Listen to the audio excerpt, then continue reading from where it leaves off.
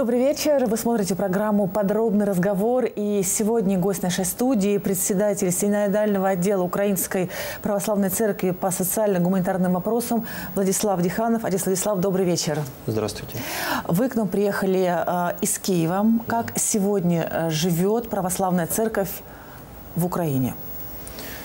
Ну, во-первых, спасибо большое за приглашение. Конечно, хочу сказать, что, собственно, как жили и раньше – пытались следовать за Христом, пытались следовать э, с делами милосердия, то есть вот делать то, что должен делать верующий человек, то, что должен делать христианин, своей жизнью славить Христа, славить Бога. Может быть, не всегда получается вот прям так это торжественно и хорошо, но тем не менее в эту сторону движемся. Но тем не менее вы ведете э, миссионерскую работу и здесь, и, и приехали в Екатеринбург для того, чтобы посмотреть, как у нас э, идут дела в этом направлении. А, с точки зрения помощи вам стало сложнее работать?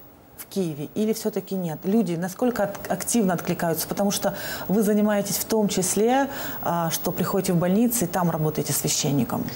И в больнице, и к нам приходит очень много нуждающихся людей. То есть это социальное служение, это дела милосердия.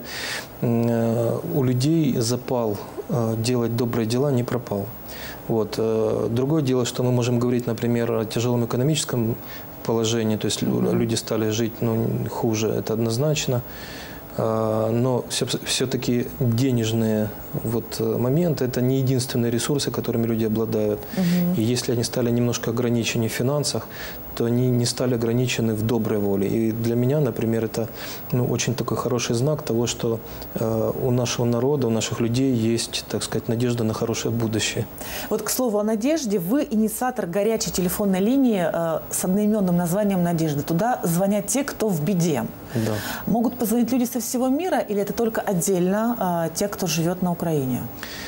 Э, ну, вообще, конечно, этому проекту вот буквально недавно исполнилось пять лет. Э, мы его когда организовывали, мы организовывали по большому счету очень локально э, для оказания экстренной помощи тем людям, которые вот были на Майдане, угу. их родственникам, потому что не все были готовы пережить вот тот стресс, который они пережили, но, собственно, ситуация очень быстро э, пошла дальше Киева, пошла по всей Украине. Ну и линия буквально сразу с первых дней стала всеукраинской. Угу. Позвонить может, можно, конечно, из любой точки мира. И из Екатеринбурга. Вот. Ну, да, Получить какую-то да. поддержку, ну как вариант. Э, конечно, можно. Единственное, человек, который будет звонить из-за границы, должен быть готов к тем расходам, которые угу. он понесет. А для жителей Украины это абсолютно бесплатная линия, но это связано только с коммуникационными системами. Но это помощь психологическая поддержка или, например... Именно духовная. Духовная. Вы знаете, когда пять лет назад я подавал прошение э, блаженнейшему владыке Ануфрию, вот, угу. он сказал, что, что сейчас вот гораздо важнее людям получить экстренную помощь от священника. И он сказал, пока пусть это будут священники. И вы знаете, как-то вот пять лет э, иногда у нас возникала мысль вновь попробовать пригласить там психологов, может быть, педагогов, угу. людей каких-то узких специализаций. Но вот э, мы брали статистику по звонкам, и все-таки востребованность именно духовной беседы со священником, она была практически стопроцентной. Так и есть по сей день, то есть на, на телефонной линии дежурят священники. И они помогают поддерживать людей в, да, в каких-либо да, да. жизненных ситуациях. В простых жизненных mm-hmm. ситуациях. Духовные ответы на духовные вопросы. Иногда приходится брать э, на себя роль э, такого небольшого спасателя, то есть угу. э, помогать человеку ну, от, уйти от каких-то таких очень депрессивных мыслей, даже от суицидальных мыслей, для того, чтобы ну, вывести человека в какую-то другую, более светлую область. Вы очень правильно сказали, что политические границы нас не должны разъединять. Вначале я сказала в Украине, потом я сказала на Украине. Вот я не знаю, как правильно говорить. Ну, поскольку мы себя мыслим, я надеюсь, э, нас тоже э, признают э, независимым государством, то, конечно, как бы вот уже традиционно мы говорим в Украине как независимом государстве. Угу. Те люди, которые вас встретили здесь, в Екатеринбурге, на Урале, э, что вы увидели, что вы услышали, потому что вы побывали и в храмах Екатеринбурга, служили для угу. тех, кто в сложной ситуации, помогали деткам. Вот как оценивать ситуацию изнутри, что вы увидели? Эм, ну, во-первых, я не увидел абсолютно разных людей, да, то есть вот как бы для человека верующего, когда ты встречаешься с единомысленным тебе человеком, с единодушным, единоверным, то, конечно, границ тут абсолютно никаких нету. Вот. А, а то, что вот для себя, например, самое главное почерпнул, это, угу.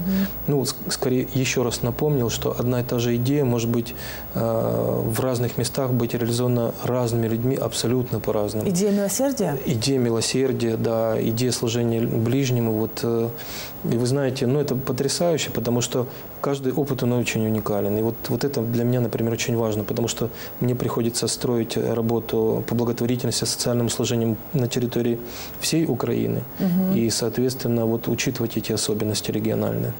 Что поразило и удивило а, в Екатеринбурге на Урале вас?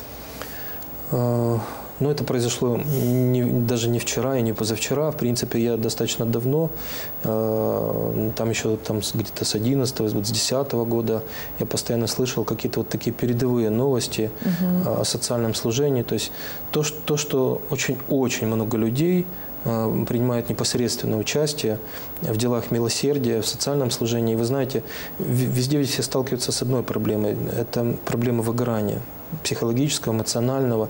И вот здесь очень много людей, которые работают вот уже на протяжении более 10 лет.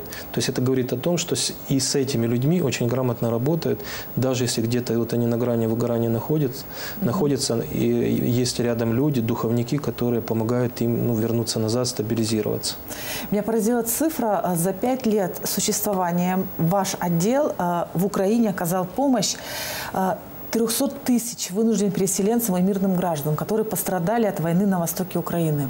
Эта цифра гораздо больше в действительности? В действительности, я думаю, что больше. К сожалению, не везде удалось собрать статистику. Это из, так сказать, из доступных источников, более-менее проверенных. Угу.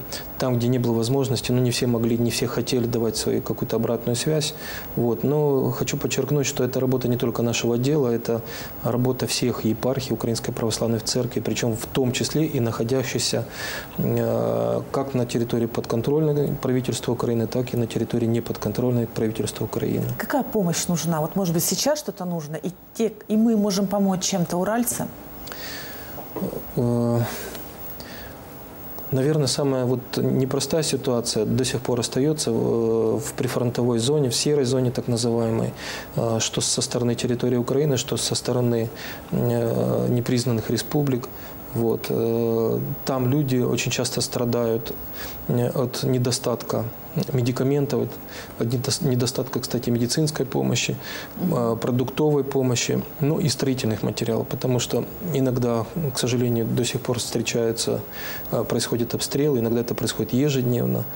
Вот, и первыми страдают вот мирные граждане, их угу. дома, их стекла. Я лично был в той зоне неоднократно. Я видел, как это все разрушается, с каким трудом. А там в основном старики остались, с каким трудом они это все пытаются восстановить. И это происходит из подручных средств. То есть можно прийти тогда в наш отдел милосердия и какую-то помощь оказать? Вот те, кто услышал и заинтересовался и сострадает внутренне. Да, совершенно верно. Я думаю, что если это будет вот какое-то целевое пожертвование, помощь, ну, собственно, можно и нас через сайт найти, либо можно сделать, сделать это через отдел Екатеринбургской епархии Русской Православной Церкви. Совет родителям у вас есть? Потому что они тоже детей воспитывают каждый день своим примером. Вот, вы сами это сказали. Это самое главное, это пример, потому что дети, дети не верят словам. Дети слышат слова, ловят интонацию, пока они маленькие, угу. совсем маленькие. Но когда дети начинают входить в сознательную пору, вот все, что их интересует, это пример родителей. Если родители живут криво, их дорога будет еще кривее. Ну, заставить ребенка невозможно там чему-то научить. Вот ты только через свой пример это можешь можно, сделать. Можно, то есть дети учатся, да, они впитывают как губки, и ты их учишь своей любовью. А любовь без милосердия, без жертвенности, без сострадания просто невозможно. Вы уже знаете следующую дату вашего визита на Урал? Или график настолько сложный, ну, что, что загадывать не будем? Я даже не знал о том, что я в этот раз попаду сюда. Угу. То есть это была неожиданность, как, как, как скорее как промысел Божий. Я это воспринял, возможность э, вот, поучиться, принять участие в краткосрочном семинаре угу. по социальному служению. С каким настроением вы уезжаете обратно? А, с хорошим настроением, с большим удивлением, потому что я смотрел прогноз погоды, здесь было очень холодно, прилетела погода практически как у нас, угу. вот, так что я не успел остыть.